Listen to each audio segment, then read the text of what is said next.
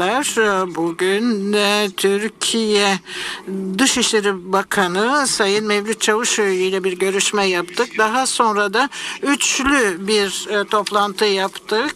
Bu toplantıya e, Sayın Dimitro Kuleba, Ukrayna Dışişleri Bakanı da katıldı. Bu görüşme Türk tarafının teklifiyle yapıldı. Özellikle Türkiye Cumhurbaşkanı Sayın Erdoğan'ın Rusya Rusya Devlet Başkanı Putin'le yaptığı telefon konuşması sonucunda bu karar alınmıştı. Elbette ki biz her türlü temastan yanayız ve bugünkü Ukrayna krizinin temelinde yatan sorunların çözümüne yönelik her girişimi destekleriz.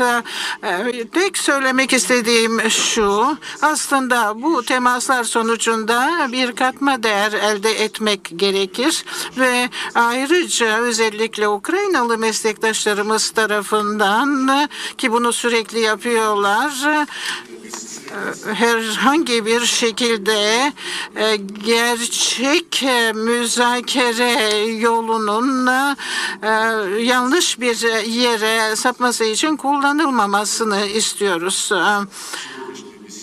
Bugünkü görüşmemiz sonucunda şu anlaşıldı. Aslında e, müzakerelerin yerini alacak hiçbir şey yoktur. Biz e, genel olarak e, Türk arkadaşlarımızın inisiyatifiyle özellikle insani konuları ele aldık ve e, askeri e, birliklerimizin e, sivillerin zarar görmemesi için ne tür tedbir aldıklarını açıklamaya çalıştık ki siviller aslında gönüllü taburlar tarafından kullanılıyor. Aynı zamanda bölgesel savunma güçleri denen gruplar tarafından e, kalkan olarak kullanılıyor. E, aslında bu olaylar gayet iyi biliniyor. Rusya Savunma Bakanlığı günde birkaç e, defa bu konuda e, bildiriler sunuyor ve biz aynı zamanda e, Rusya tarafının günlük olarak insani koridor açılması konusundaki önerisini tekrarladık. Bu önerimiz hala geçerli ve güzergahlar aslında durumu kontrol edenler tarafından belirleniyor ve en güvenli, en etkili güzergahların seçilmesini amaçlıyoruz. Bu şekilde sivillerin e, çıkabilmesi, tahliye olabilmesi e, amaçlanıyor. Ayrıca meslektaşlarımıza şunu hatırlatmak istedik. E, son müzakerelerde, Belarusya'da yapılan son müzakerelerde Rus tarafı kendi mülazalarını ayrıntılı bir şekilde sundu. Ve Ukrayna tarafı da Kiev'te yapılan temaslar sonucunda en kısa sürede bunlara cevap e, verileceğini belirtti. Çünkü Belarus e, topraklarında yapılan müzakerelerin ciddi sonuç vermesini istiyoruz. Aslında yalnızca kağıt üzerinde yapılan beyanlarla yetinmek istiyoruz, istemiyoruz ve Ukrayna krizinin e, topluca bir çözüme kavuşturulmasını istiyoruz aslında Bütün tarafların çıkarlarının ele alınarak olarak Avrupa ülkelerinin görüşlerinin de dikkate alınarak çözüme kavuşturulmasını istiyoruz. Birinci kanal Rusya. Если у нас... Да, пожалуйста.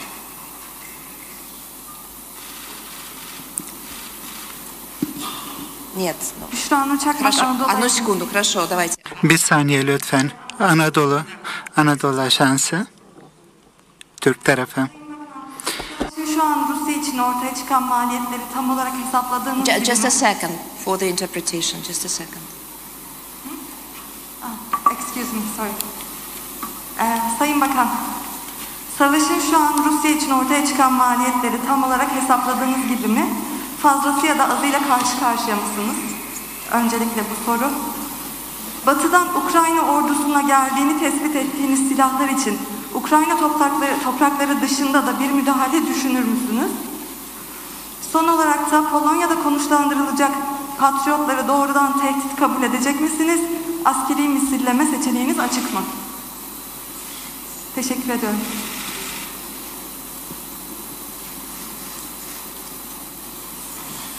Я не очень понял в переводе, а, но если E, tam olarak e, anlayamadım ama e, şimdi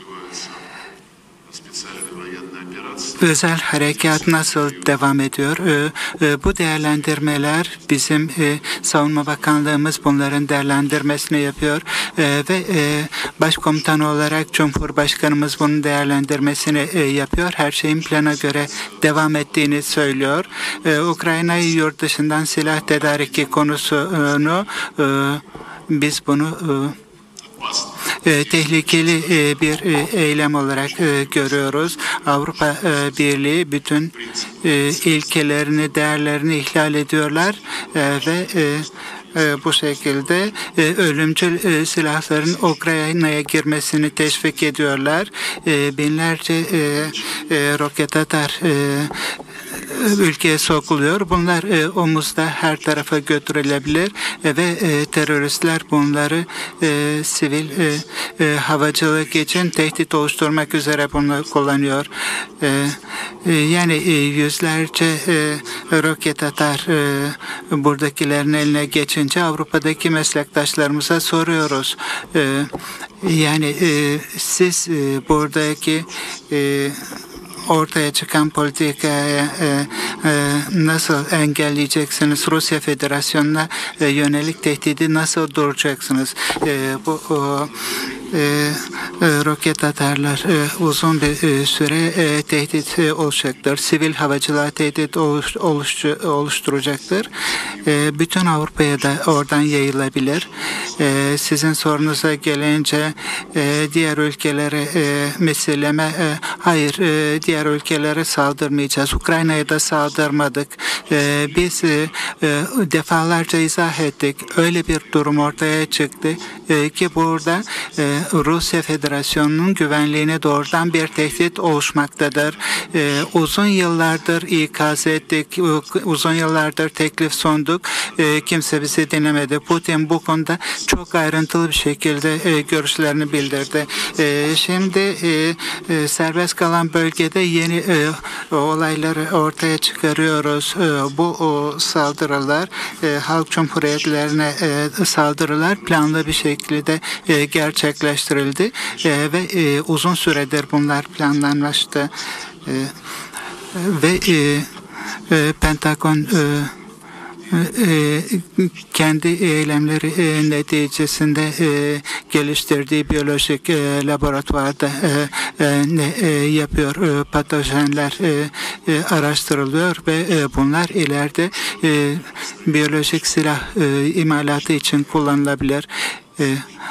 Alenen e, bunlar e, bunları reddettiler. Burada yasak bir faaliyet yapılmıyor dendi.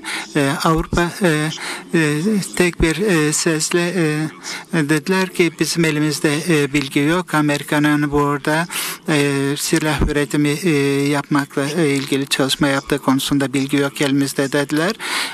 Ve Birleşmiş Milletler temsilcileri de bilgimiz yok dediler. Bu da şaşırtmıyor bizi. E, çünkü ABD e, bunları derin bir gizlilik içinde gerçekleştirdi. Diğer devletler de eski Sovyet coğrafyasında e, bu şekilde askeri biyolojik laboratuvarları Rusya sınırının yakında yapıyor. Çin Halk Cumhuriyeti'nde Cumhuriyet'in sınırları yakında yapıyor. Biyolojik ve e, silahların e, yasaklanması e, sözleşmemiz var. E, bu alanda yapılan her türlü faaliyetlerin raporlanması gerekiyor. Kendi arazisi dışında bunları yaptıklarında e, bunları raporlaması lazım. Sorunuza böyle cevap e, istiyorum. Ukrayna'ya silah e, gönderler e, bilmeleri e, lazım ki bunlar eylemlerinden sorumludurlar. E, e, burada e, e, e, e, kiralık savaşçıları da e, e, teşvik edenler bundan e, sorumlu e, olacaktır. Aşırı radikaller var. E, her türlü tugaylar e, devreye giriyor. CNBC lütfen. Hadley Gamble. I'm with CNBC News. Your Excellency, I'm Russia has used um, a lot of different words to justify Aslında Ukrayna'ya müdahalenin haklı çıkarılması için ne farklı sözler kullanıldı. Ama çocuk hastanelerine ve bir takım sivil hedeflere e, bombalarla e, saldırılmasını siz nasıl açıklayacaksınız? Ve Rus insanları için aslında Rusya şimdi milyarlarca e, doları ödeyememe, borcu ödeyememe durumuna düşüyor ve Rus halkına e, bu saldırı sonucunda meydana gelen e, bu e, harcamaların ağırlığını nasıl açıklayacaksınız? Çok teşekkür ediyorum.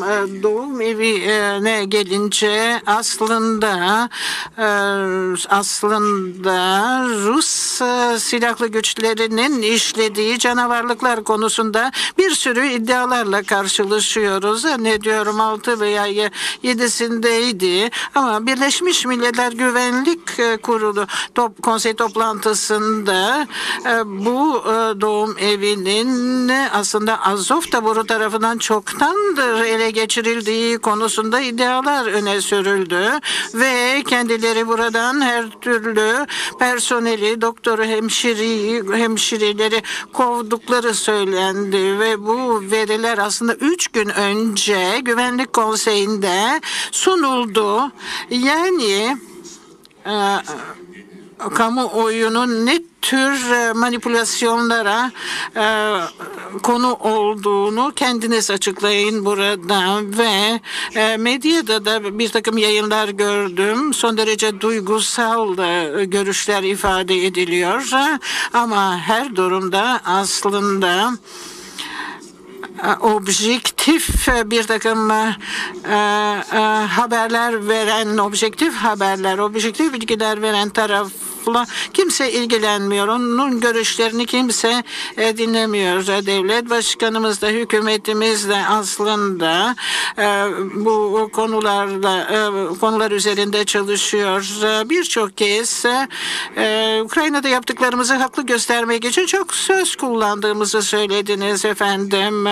Ama Ukrayna'nın bir Rus aleyhtar devletine e, çevrilmesi konusunda e, kimler ne diyor e, e, acaba? Aslında Ukraynalılardan Batı yanlısı mı yoksa Rusya yanlısı mı olup olmadıkları konusunda seçimlerde ifade edilmesi istenmesi is- insani miydi bundan yıllar önce? Evet bu tür manipülasyonları bir takım Batı yanlısı adaylardan da duyuyoruz, görüyoruz. Zannediyorum ki 2009 ya e,